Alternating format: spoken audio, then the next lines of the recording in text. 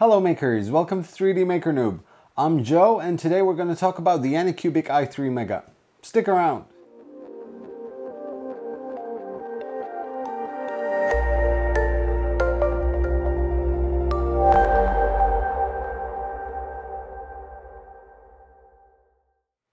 Welcome back makers. So today is time for me to give you my rundown of the Anycubic i3 Mega, which is the version 1. Now there is a second version that just came out which has a few differences but I'll get to those in the end. This i3 Mega right here boasts a print volume of 210 by 210 by 205 on the Z height. It comes with quite a few bells and whistles. It has an inductive sensor to assist you when doing the bed leveling. It comes with a runout filament sensor and also with a power off resume function, all features which are, in my mind, highly needed at this day and age with all the printers that are coming out. It also has a pause and resume function which comes in very handy if you want to change the color of the filament in mid-print. Finally, it also has a clone E3D V5 J-head hot end, which means that Eventually you can upgrade it to an original if you want. However, the one thing that I found really convenient is that I can change the nozzles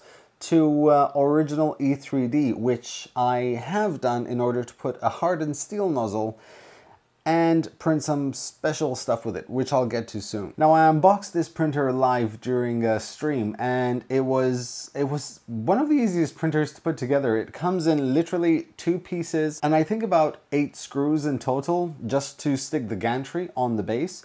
And that was it, it was ready to print. So I threw in some Aprintapro yellow PLA and I started printing. And this was the result. Now, these were printed without me doing absolutely any settings adjustment whatsoever. I simply threw in the SD card that came in with the printer and I started printing with standard PLA. And I was quite impressed. The uh, prints that came out at 200 microns looked really, really good. The only problem that I had was that when they did the testing of this printer, it had black filament, so there was still some residue which can be seen on the hat of the male owl. But other than that, gorgeous result. Next up, I printed the uh, Benchy. Of course, I have to print a Benchy. And the results were okay. I wasn't really impressed, mainly for uh, the fact that I still had some black residue inside the nozzle, which was starting to bug me.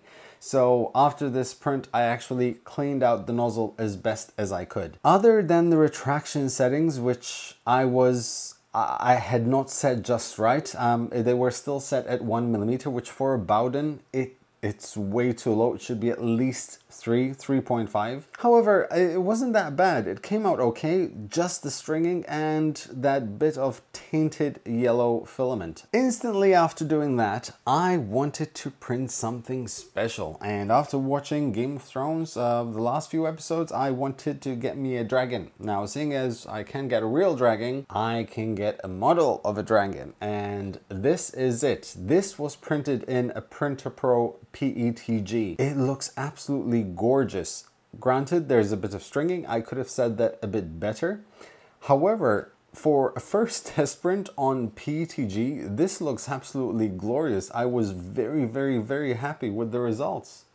And now I got me a dragon. Next, I threw in some StoneFil, which Form Futura have sent me in order to test out. And I decided to print the God of OpenRC, Daniel Norée. And it came out actually really well. There seems to have been I, it's probably a bit of either overheating. I'm not exactly sure what happened, but you can see that there is kind of like a color transition in the filament. I don't know if that's for the filament or inconsistent heat of the nozzle. But if it wasn't for that, the print came out actually quite well. There is a bit of stringing because it's a very stringy filament. Um, I could have once again set it up a bit better. But apart from the stringing, I think the results actually came out really well. And now Daniel Norée's head is a Malta. Next up, I decided to try some R Titan X from Form Futura, which is this black filament right here. Next, I decided to uh, throw in the uh, hardened steel nozzle and also use Form Futura's R Titan X uh, filament. Now this is a recycled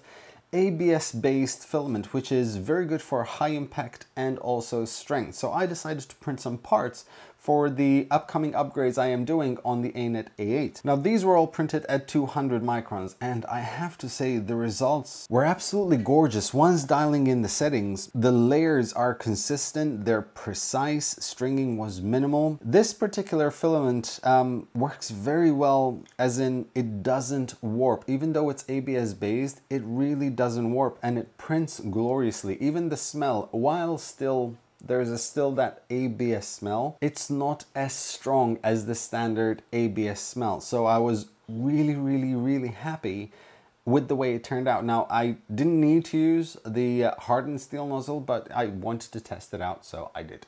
Next up, I decided to throw in some Fillamentum Rapunzel Silver, which was the first time I had ever used it, and print this crow. And I have to say that this is by far one of the most beautiful prints that I have ever made. This was printed at 100 microns and you can barely see the layers themselves. It is absolutely glorious. It's almost flawless. It printed without supports.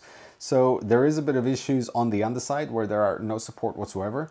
However, the finish on it on the outside is glorious, so I am extremely happy that I got the settings right. So much so that I wanted to replicate the result and print this castle tower right here. And once again, the results were glorious. And instantly I said, okay, 100 microns is definitely the print settings I will be using with this print. Next up, I decided to print some Polyalchemy Elixir, and this is it right here. This is the Purple Rain, which is a gorgeous lilac type color, and it was recently released by Polyalchemy, so I'm testing it out. And I have to say that the color is gorgeous, and more so the fact that printing it at 100 microns on this printer, the sheen just really comes out beautifully. So I couldn't be happier with the results. It is absolutely gorgeous. And finally, I decided to go back to PETG, this time in some Zortrax Z-Glass. And this is the result right here. The color is absolutely gorgeous. Now this was printed with three perimeters and 0% infill, so it's completely hollow on the inside. And once again, at 100 microns, it printed beautifully. The retraction settings were scaled up. I set this to six millimeters due to the fact that it's about extruder. And I have to say, I am very, very, very happy. So once again, this proved to me that this printer can seriously churn out beautiful quality prints. So what do I think about the Anycubic i3 Mega? I actually really, really like this printer, especially for detailed prints. It churns out some really beautiful quality prints. The structure is extremely solid. It's a full steel frame. There is a version 2 now. This is the version 1 and the difference is uh, the version 2 has an ultra base which is a kind of like a different feel feel. It's a different surface, which um, means you can take prints off a bit easier and it sticks much more. And it does not have an inductive sensor, which I will get to in a little bit. However, for about 330, 340 euros, I think that is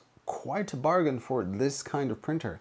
It comes with lots of bells and whistles. The runout filament sensor works really well. I had tested it during the live stream with this print and with the uh, with the Benchy, so it worked really well. As you can see, it finished. And the power off resume function also works, which is once again something that I think should become standard in all printers. The touchscreen LCD is actually quite intuitive. It, it's not the most responsive LCD screen that I've seen, so sometimes you need to tap harder than you think you need to but it works and it's easily understandable. It big icons, so you know what to do. You have a filament in and out function, preheat, cooling down function, bed leveling function, or better yet, assisted bed leveling function. It has a SD card, it can be tethered, so all in all, it has everything you could possibly want from a 3D printer. Now, there are a few things that I need to mention about this printer which are uh, extremely important because one of them could be very, very frustrating for a lot of people. Hot end fan, which cools down the sort of the top part of the hot end when you have the cooling fins, that fan, at least on this machine that I received, was underpowered. So it wasn't cooling that quickly enough. And what happened was I was getting a lot of of jams and clicking due to heat creep. And I noticed this because after a jam, I took the PTFE tube out and I noticed that it was really, really hot. And after disassembling the uh, hot end unit, I noticed that the fan was barely moving, so I had to replace that fan with one of my own that I had spared. Then there are a couple of things about the sensor for the bed leveling. Now this is not auto bed leveling, it's assisted bed leveling. All the sensor does is gives you an idea of how far the hot end has to be from the build plate. And it does this by kind of like repeating a sound like a beep. And as soon as you hear it chirping you know that um, when you're adjusting the height you know you're almost at the right height. However I've noticed that it's never at the right height. So you still once printing I had to do a bit of live adjustments to get the first layer just right. The second thing I noticed is that it kept on losing its um, its alignment from the bed. So every two or three prints, I had to readjust the bed to make sure that I was still getting the right consistent layers because while one print was coming out fine on the first layer, I had elephant's foot on the next one. So I had to readjust the bed. So that is something to keep in mind. Which is probably why they removed the sensor from version number two of the Anycubic i3 Mega. The last thing I noticed concerns the runout filament sensor. Now that is an absolutely